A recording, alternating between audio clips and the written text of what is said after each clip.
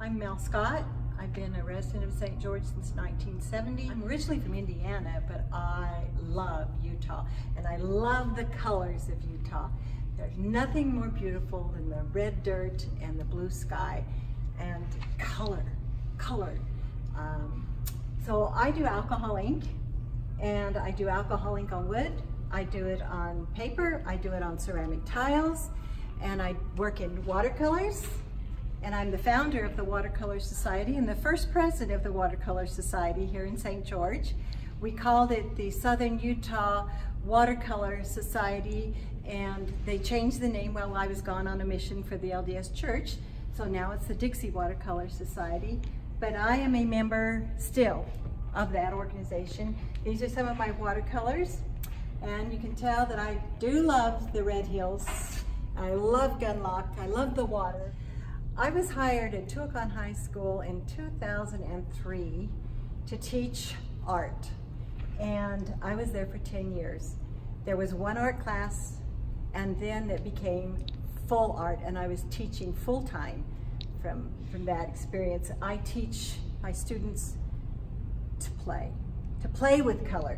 And the biggest question they always said was, what if we did this? What if we did that? And so I have learned to play with all mediums.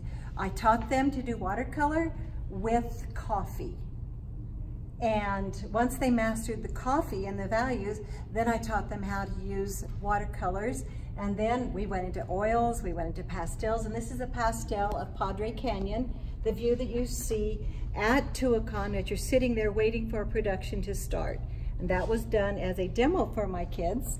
And then we stood at the top of the canyon and they all drew uh, with those mediums. But uh, I love teaching. I'm right now, I'm teaching at the university and I teach three classes for community ed. I teach drawing and I teach two classes of painting.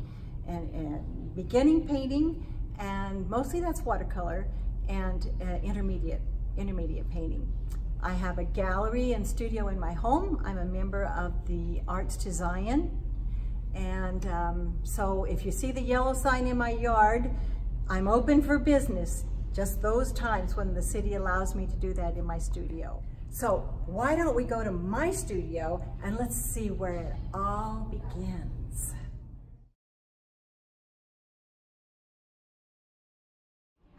Hey, come on in. Come to my studio and my gallery, my abode. this is where it happens. Let me turn on the light so you can see. All right, it's a little dark in here today. This is the gallery room. I'll let you look around at these.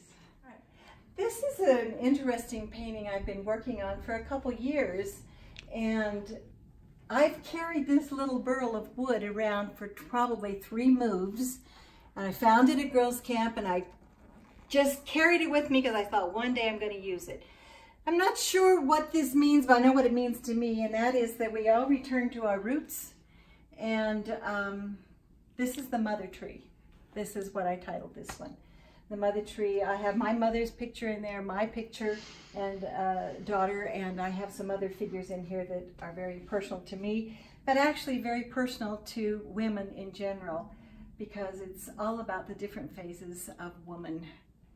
The young one, the old one, and how we return to our roots for knowledge. I work for a humanitarian project and they put my paintings on their items and when anything sells, then somebody gets a meal and somebody gets a place to sleep and they teach people how to read and write around the world. So this is a humanitarian project I'm doing with my artwork, a way to give back. Not just hang it, but to use it.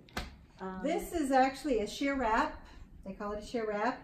It's also on a pillow, right down here. And this is alcohol ink painting.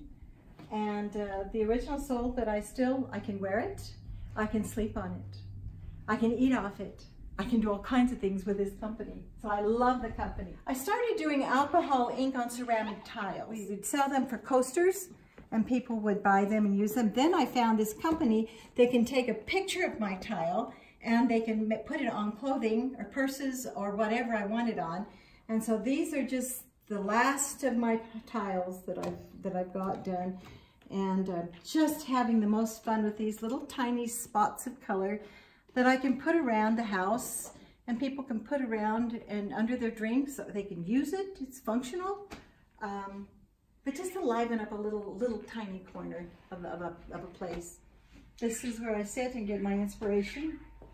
And uh, these have these paintings have not been out of my this corner.